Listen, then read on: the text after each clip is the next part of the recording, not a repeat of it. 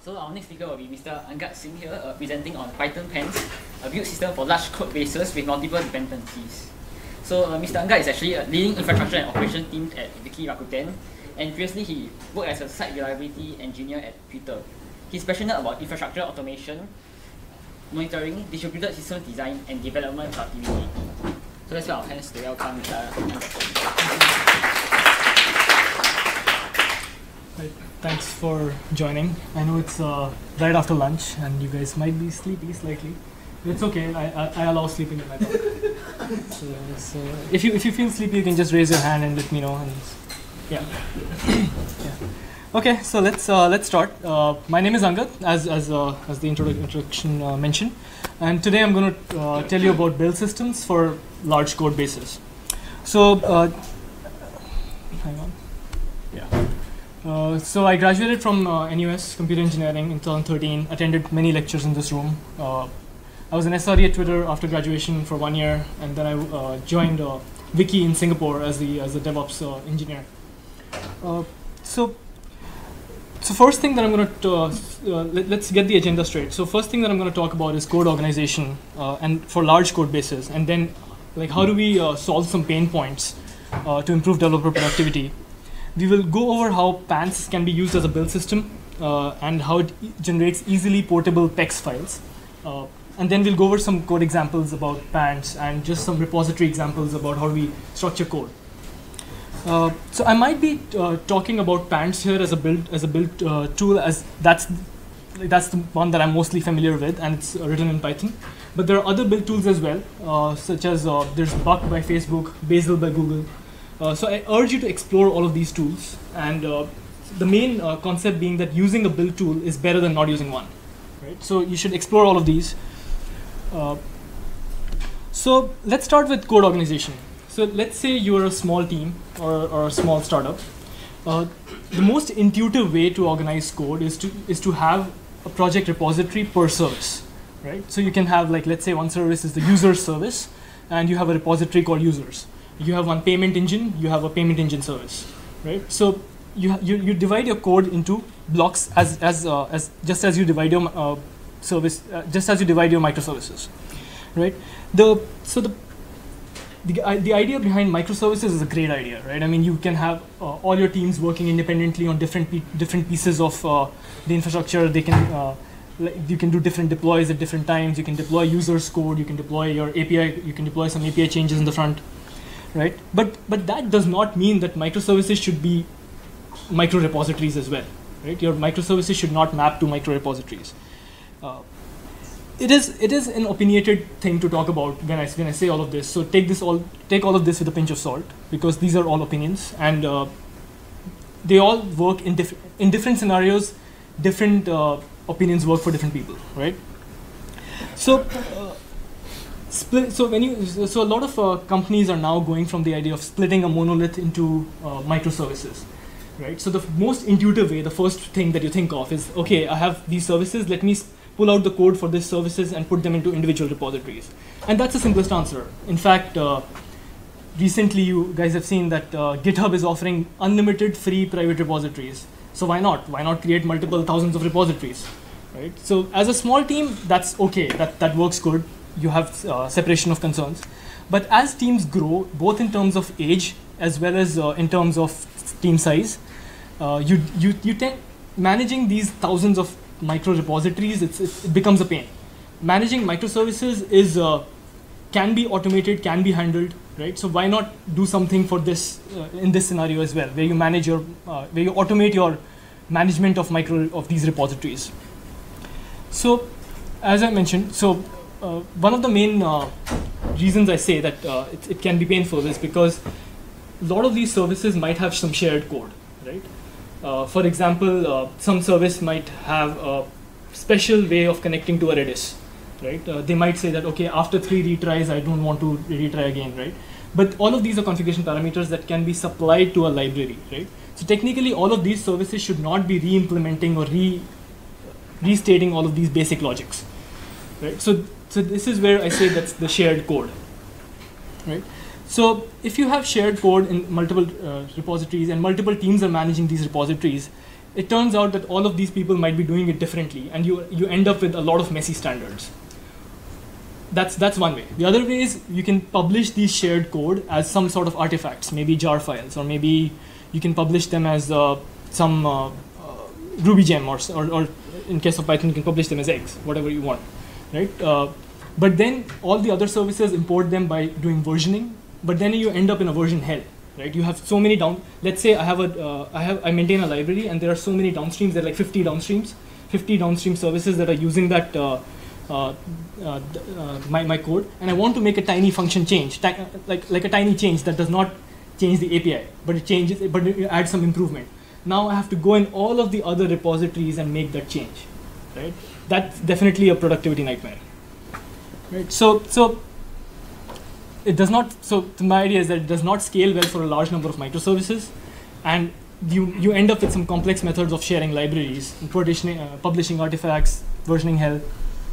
So let's. Uh, so I invite you to think of uh, code, code unit, not as projects but as libraries, right?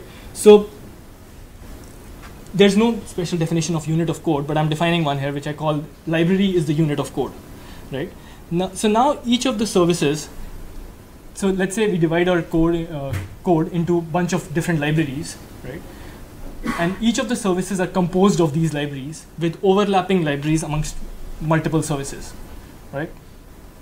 So the idea behind that, if you if you start with this mindset, uh, then you promote the idea of writing reusable and shareable code directly from the start, right? So you, you say even even if that module might not be intended to be reused later on, you you start with a concept that hey, I will make make sure my code is uh, is individually testable and can be exported into another uh, project that, that might need it. So, so we think of libraries as units of code.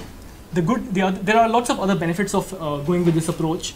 Uh, you, you get single, like a single lint build, test, and release process that can be baked into this repository. Uh, they're easy to coordinate changes across multiple modules. Uh, easier to set up development environments because all the development environment toolchain is present inside this repository where you can, uh, it can uh, set up all of these services together for you. Uh, tests, so let's say you change one shared library and if, if that library has changed, it will run the test for all the, all the services that are using that library and run the test for all of them. Right.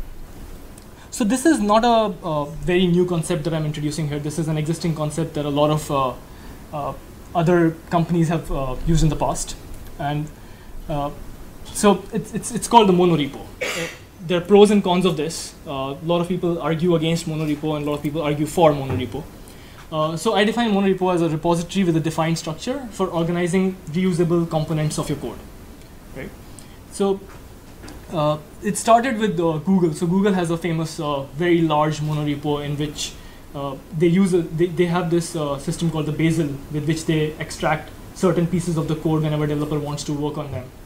Right. But the good thing is that they have standardized their tooling all around that, uh, to- tooling around all around that, and it prevents it prevents re-implementation of or like reinventing the wheel every time you start a new service uh, you get all the benefits that other services have. For example, uh, if you start building if you start building a service with, within this monorepo, you will get monitoring for free.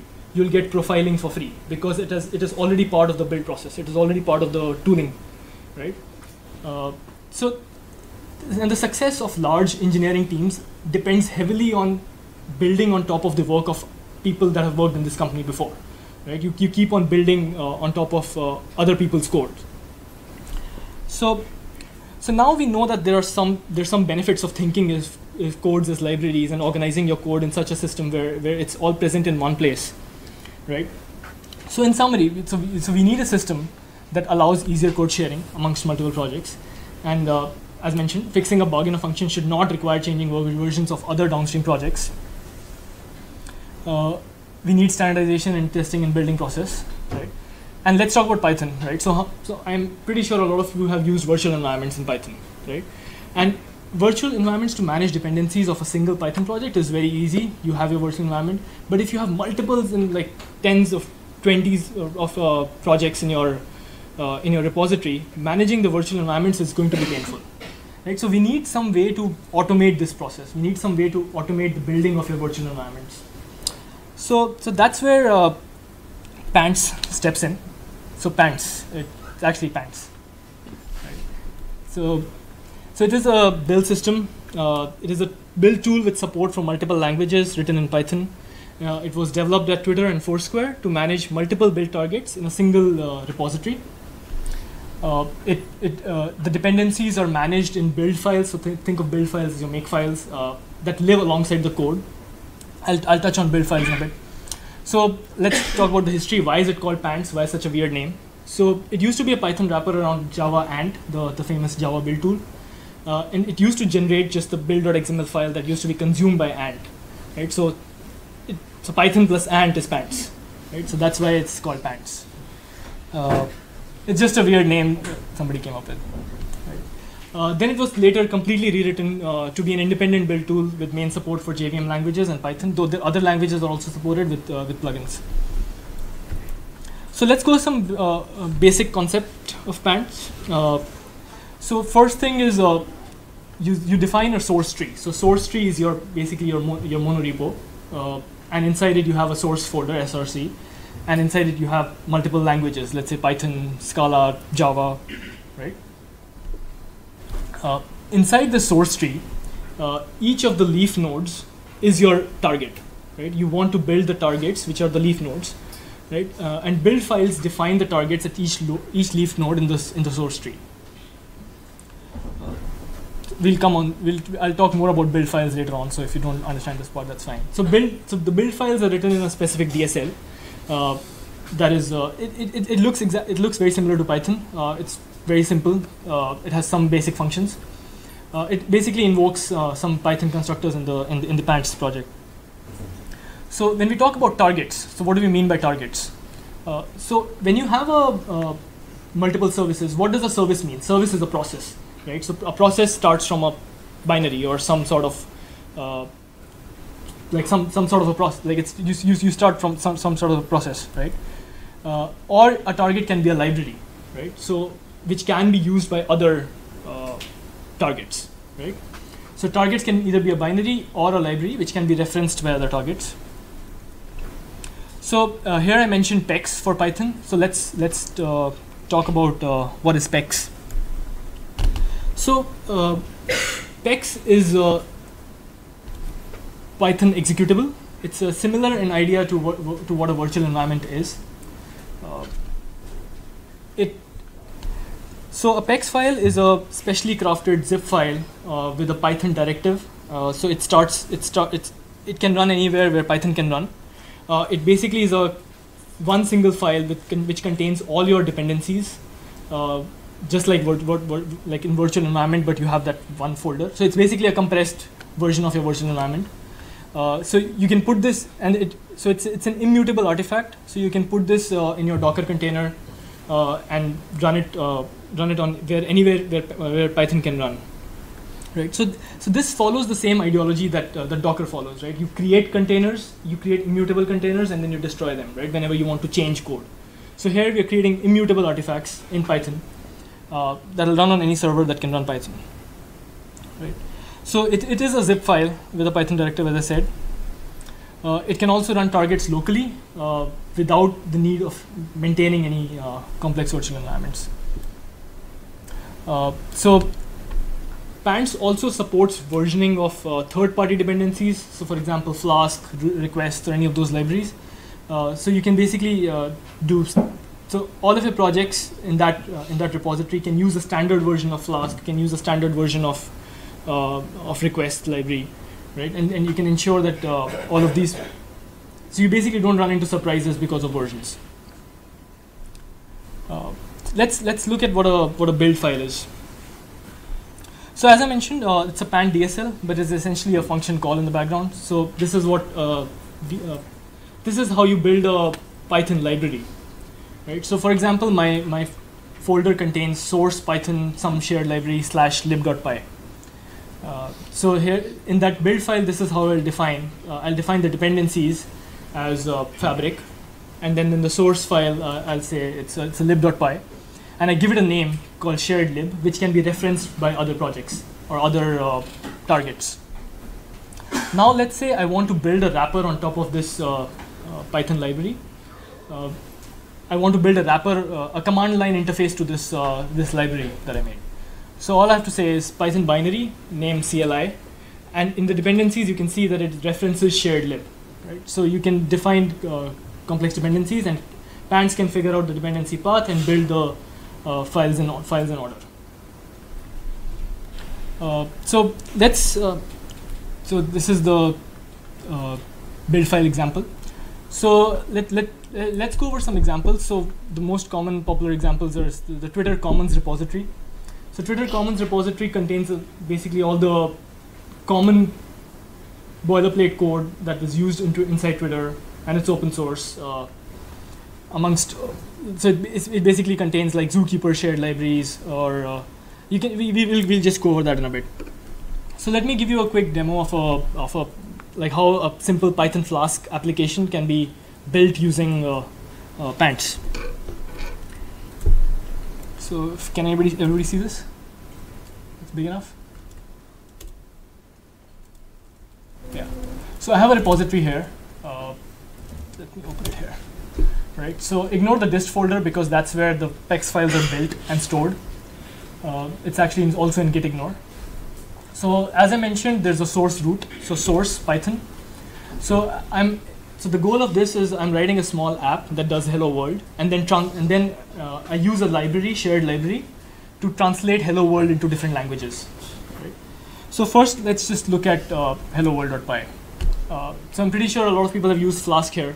This is very simple. So the default route uh, slash is it, it just returns hello world, and then there's another route slash lang. So you can pass any two character language like DE for German, uh, uh, ZH for Chinese, uh, and it will translate uh, to different languages. So you see, I use uh, from translator import translator, right? So let's let's look at the translator. Let me just close this. Yeah. So translator is very simple. So it uh, so it, it- maintains a counter of how many times you have translated. So it's just some simple functionality inside it. It uses a third-party library called TextBlob to do the translation. So it returns the counter and just the translated translated message that is passed to it. Right. So let's uh, so let's look at the build file for this translator. So as we saw earlier, uh, if you want to build a shared library, uh, this is the build file syntax. So you say Python library name translator dependencies. So the dependency is a third party Python text blob. Right. So in the third party folder, I've listed all my dependencies. So it's, if you know, notice that's requirements.txt. This is very similar to what you're used to doing in pip. Uh, so so in, in here I've listed the two dependencies, Flask and TextBlob. Uh, here I can also uh, restrict them to specific versions. So, so all my uh, projects, Python projects, will use just a specific version of Flask or a specific version of TextBlob. Right. So source Python uh, third-party TextBlob, and then globs basically means it finds all the st- star.py files inside the current directory and concatenates them into a into a list. So now I want to use this translator library that I just built in, in my hello world. So in the build file here, you will see that I'm using Flask, so third-party Flask, and then I'm also using uh, translator, which lives inside this uh, project. So source equals hello world, right? So now let's let's go back uh, to the command line, and let's run uh, pants. So pants is uh, shipped as a as a bash file. So if you if you open pants, uh, so it it invokes pants using bash. You can go read about the documentation about the details of how uh, how it is invoked. So what I'll do, I'll specify a goal that I want to create a binary, and then I'll specify the path. So source Python hello world, and I want to create the hello world target. Right. So this will generate the hello world for me. So now it's generated inside dist folder, and this is the PEX file. So now when I'll run this PEX file, let's go back to the browser. Uh, so localhost 5000. So that's hello world. That's the root.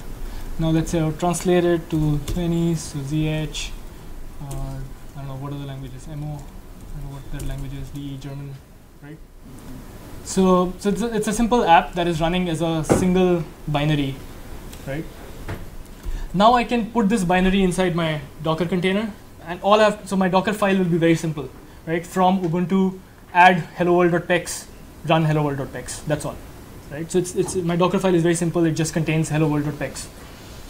Uh, so one thing that I, uh, so now let's, let's see what the pex file is actually. So I can actually do a unzip so it's as I said, it's a it's a zip file. So it basically extracted that here.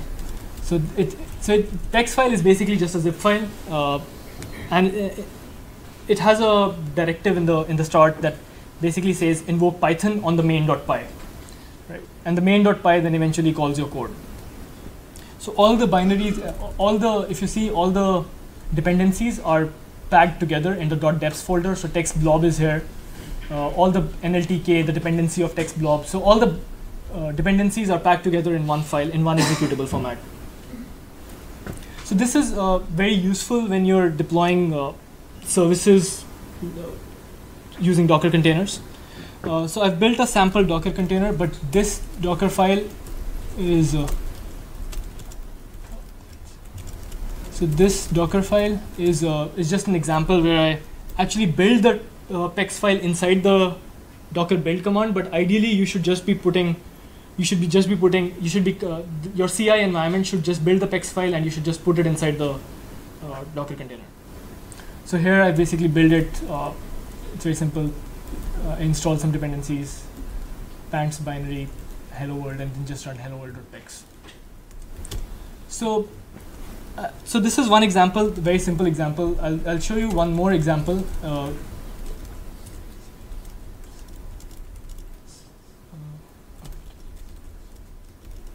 So this is uh, this is Viki's uh, uh, Viki's actual code production code. This is uh, the operations repository where all the infrastructure related code is. So I'll show you source Python, right? So we have. So this is a, I've taken out some parts from here. so there's so we have the deploy, which is written in Fab Fabric. HAProxy is basically some helper tools that we've written around HAProxy. Uh, and Ops Master is just a like a control, like it's a it's a Flask application that uses all of these libraries, right? Uh, Postgres uses all of these libraries. Signal SignalFX uses HAProxy library. So we basically have a lot of code sharing here, uh, and this is facilitated because of Pants. Each of these could have been individual repositories, but I think that would have been very difficult for us to manage. Uh, there are more projects inside this that I've, that I've, that I've uh, extracted out. Uh, so yeah, so that's uh, now let's let's also look at uh, so Twitter, oh sorry, GitHub.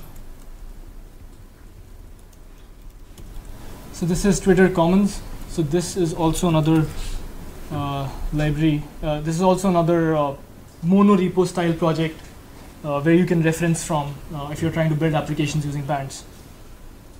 Uh, so here you can see source since it has support for multiple languages, Twitter mainly uses Python and Java.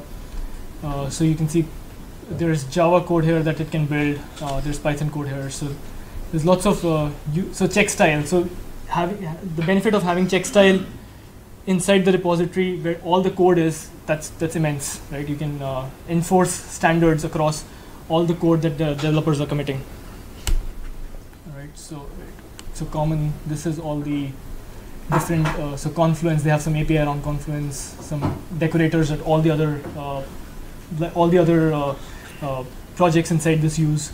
So this is just a, so this is probably 10% the size of the actual repository in, inside Twitter. There's like hundreds of more projects that use all of these common libraries. So I think that's all for my talk. I hope you have a good idea about pants. I'll be happy to take some questions. Have you actually tried putting in the Python? What's the Jython? Jython. Have you tried to because have you No. tried to compile it to Jython or something? No. I'm just curious. Since No. because it can support JVM and can do Python at the same time. No, I haven't, I haven't tried yet. Okay. Um, I was also curious because I just now I saw Postgres, and uh, from the demonstration that you showed, it was relatively um, just Python code. Correct. And I, I was wondering how would a library behave if we have um, like local dynamic library dependencies, for example, um, you need Postgres or MySQL um, header files inside. So library. it would not, it, it does not package the system dependencies. So system dependencies need to exist on the system. It only packages, just like virtual environment, it only packages the uh, Python dependencies. So this also only packages the Python dependencies. So if we are to use the compiled package to be immediately deployed as a microservice, we need to have the container installed of the. Correct. So, the- container needs to set up uh, like the, I think for Postgres it will be PostgreSQL common dev or something, right? Yeah. That, that package needs to be installed. I So those header files need to be supplied separately. So it does not, so PEX does not fulfill the complete role of what Docker does, right? So it's, it, it does, it's not a drop-in replacement for Docker, I'm, not saying that. It does not package the full system, it's Python or like the, the languages that it supports, right? So it, it packages the languages dependencies. But if they have native dependencies, then the system needs to provide those native libraries. Correct. That's a, good question.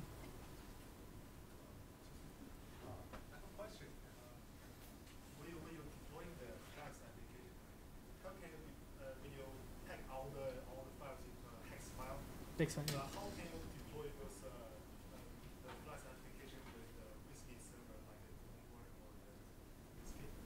Th- What, what, what server? WSGI server. I, I'm, WSGI server. I'm not sure. Yeah. WSGI. Yeah, Yeah. Like or the So that so that that will come as a separate process, right? So that that you will have to. Uh, so th- so yeah, that will be a. Uh, I would say that will have to be handled separately outside of PEX. If unless it is uh, natively Python, unless it is native Python, right? As as as mentioned earlier.